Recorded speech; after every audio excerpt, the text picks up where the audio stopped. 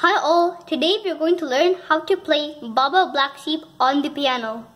This is C, this is D, this is E, this is F, this is G, this is A, this is B, and this is C.